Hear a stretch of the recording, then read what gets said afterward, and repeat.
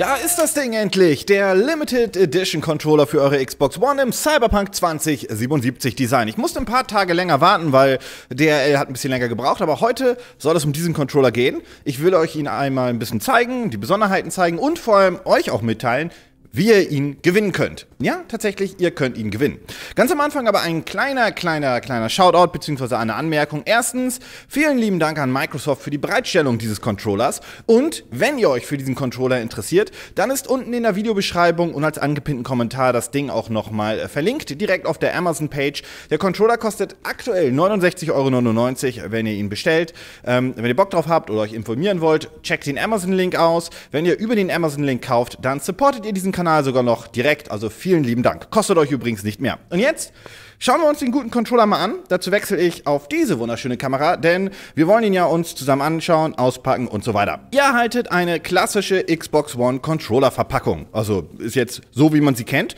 Und das bedeutet, wenn ihr sie öffnet, dann, oh, das ist so ein bisschen verwinkelt, bekommt ihr auch diese schöne kleine Präsentation in der Box bei den Xbox One Controllern. Microsoft macht ja immer schon so ein kleines, ich sag mal, beim Auspacken immer so ein kleines Erlebnis. Und ja, in der Box selber ist Natürlich der Controller drin, schauen wir uns gleich sofort an. Zwei Batterien, denn die Xbox One Controller sind natürlich immer noch batteriebetrieben, lasse ich mal drin. Und unter dieser Box findet ihr dann, äh, kleinen Moment, ja, Anleitung und Gedöns und auch oh, einen Game Pass. Oh, einen Ultimate Game Pass bzw. einen Probe Game Pass und zwar für 14 Tage. Könnt ihr auf dem PC und auf der Xbox One benutzen und ja, da ist der Game Pass. Den Code könnt ihr, glaube ich, gerade kurz sehen. Viel Spaß beim Video pausieren und eingeben. First come, first serve. So.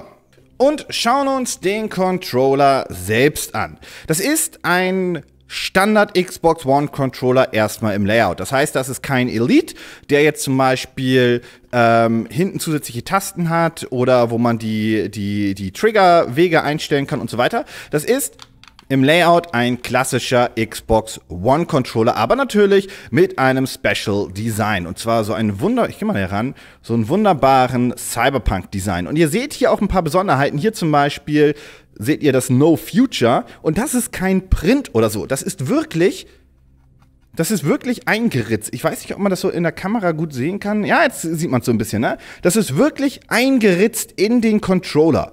Also da ist so eine kleine Färche drin, dass wenn ihr rüberfahrt mit der, mit der Hand, das auch spürt. Also ich gehe mal kurz ans Mikrofon. Schönes Design, grundsätzlich.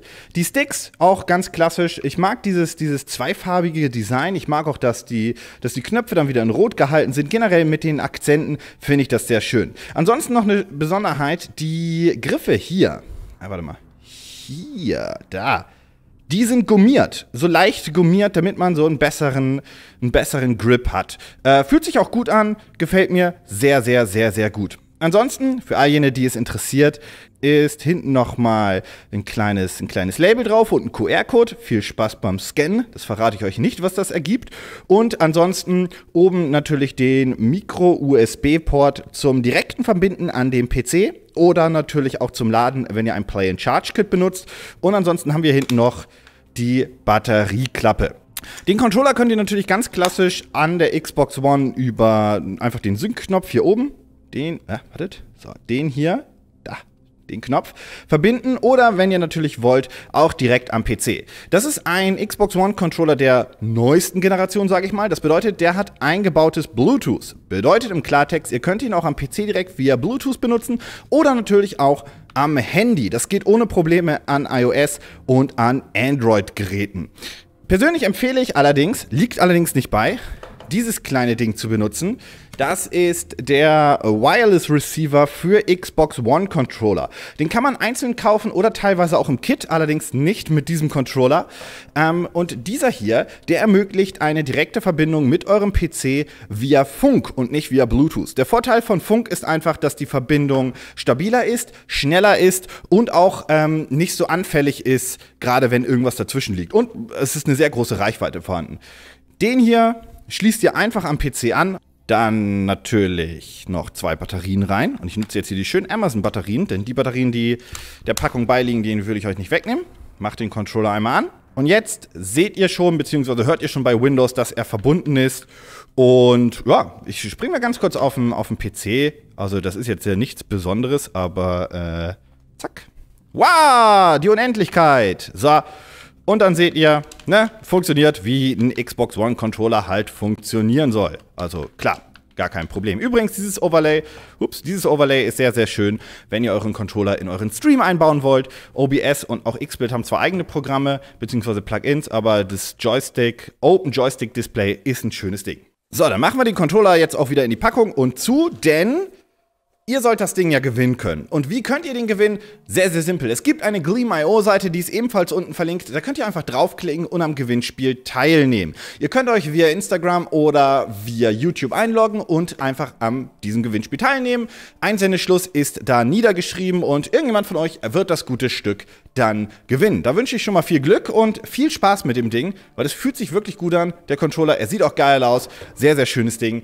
Ähm, eure Meinung dazu gerne in die Kommentare und generell vielleicht mal eure Meinung zu diesen Special Edition Controllern. Ich liebe die persönlich und wenn ich mal ganz kurz noch was am Ende des Videos einbringen darf, dazu müssten wir noch mal ganz kurz auf meinen äh, PC springen.